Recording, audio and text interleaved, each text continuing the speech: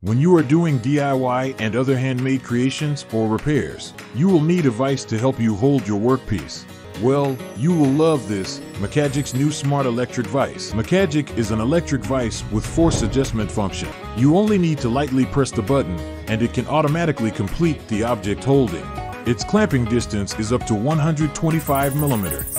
Makagic can adapt to most of the daily clamping work, whether it is soldering circuit boards or woodworking carving, mechanical processing, equipment maintenance, and so on. Makagic has up to 100 adjustable gears and a wide range of clamping force up to 7 kgf. This way you don't have to worry about damaging the clamped object. In addition, Makagic is also equipped with a 4400 mAh battery and supports Type-C interface charging.